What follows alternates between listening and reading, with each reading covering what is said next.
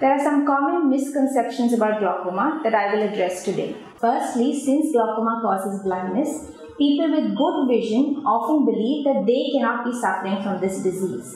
This is not true because in the early stages of the disease, only the peripheral vision is affected and these patients are asymptomatic. However, they still require treatment to maintain their vision. The other misconception patients have is that glaucoma treatment will improve their vision. No, glaucoma treatment is aimed at maintaining the existing vision.